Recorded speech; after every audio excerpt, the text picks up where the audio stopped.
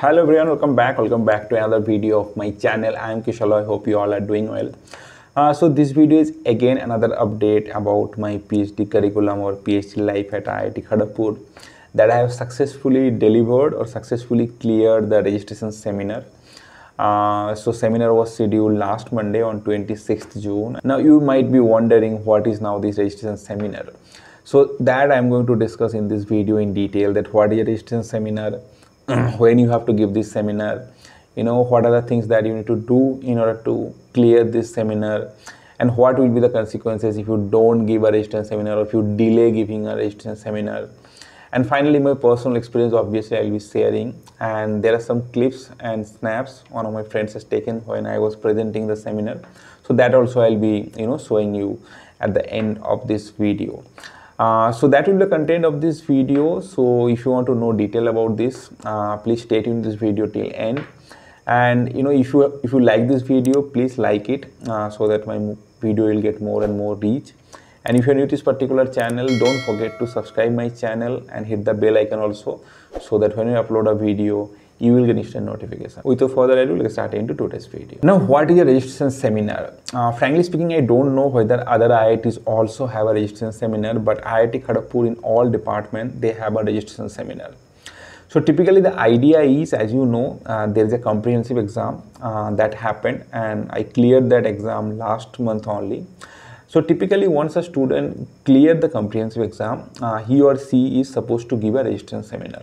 And the idea is in this seminar, uh, you have to present your research work that you are thinking of. Maybe, you know, you have just started working on your topic then maybe you have done some literature survey or you have done some work uh, uh, you know you have started some work with your uh, with your supervisor or guide then that you have to present in this seminar so the best idea is that you clear the comprehensive exam and then you start working uh, on the research topic that you are focusing on and then you publish some work uh, from it and then you know you you pre- you, you present this uh, registration seminar in front of the committee.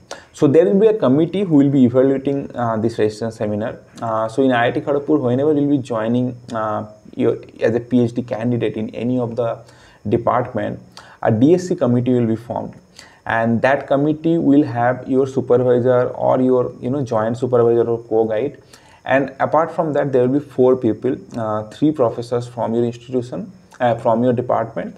And one professor will be there who will be coming from a different department. So that will be the committee that will be there throughout your uh, you know phd curriculum. And whenever there will be uh, some formality have to be you know have to be done like registration seminar and then after that there are some other seminars also you have to give and at the end you have to give a synopsis and finally you have to defend your thesis. So every time this committee will be there you have to present your work uh, in front of this committee and they will decide and they will take all the you know approval they will take the action or approval uh, they only can take.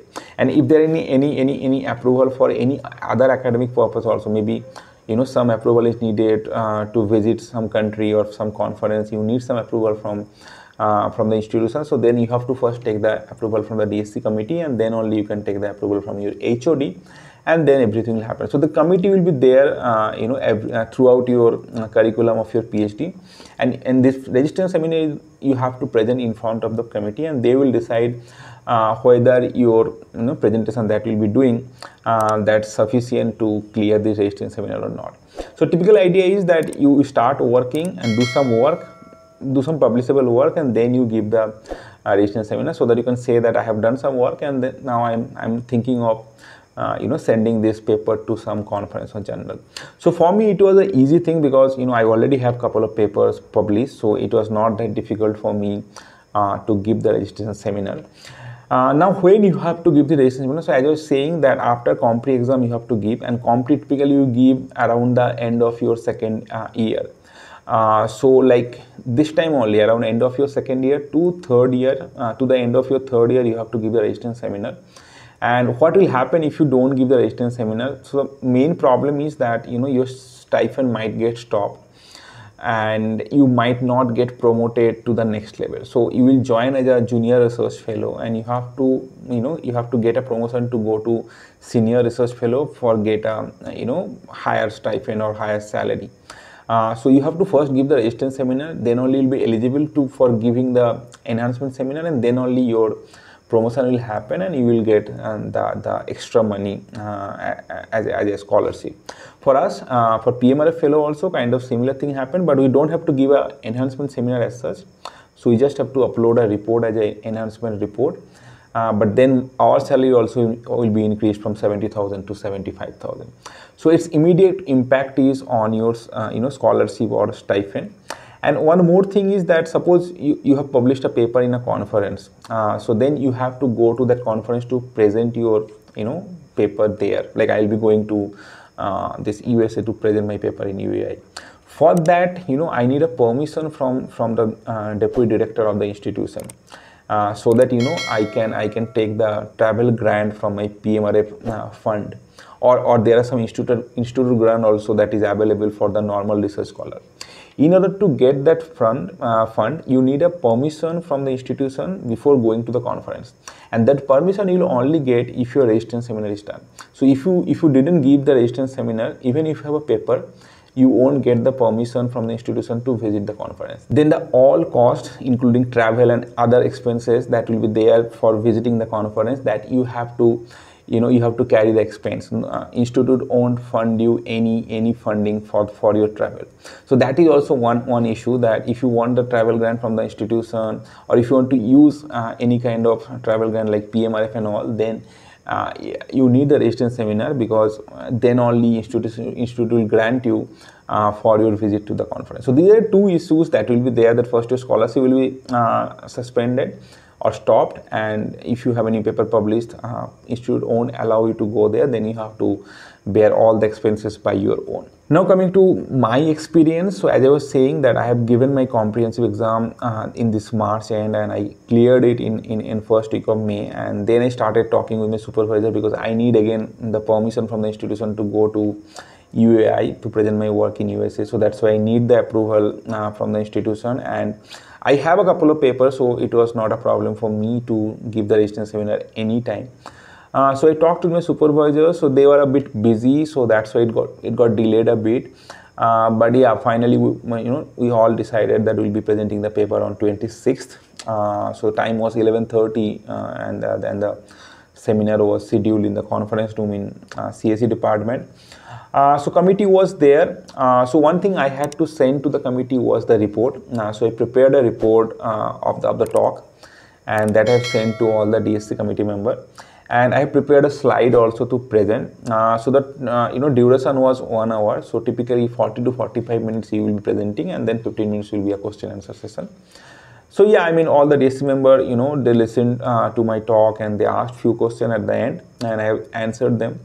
So yeah overall it was a you know there was no issue. I mean it was a great uh, they, everyone was satisfied with my talk and they said that my seminar is approved. I mean i have i cleared the seminar. So yeah that's it. I mean you know it was just a formality i feel and i don't think this seminar is there in other iits this is just a you know iit kgp specific uh, thing and i don't actually i don't know because i haven't i haven't heard anything like this in IISc and i haven't heard anything like this uh, from my friends in um, IIT Bombay also. Uh, so let me know if you, if any of the PhD scholar is from other IITs, uh, you know, is listening to this video and in their IIT also this kind of register seminar is there. So let me know. Now few uh, you know picture and video clips one of my friends has taken. So I I'll show you uh, those pictures. So please have a look on that.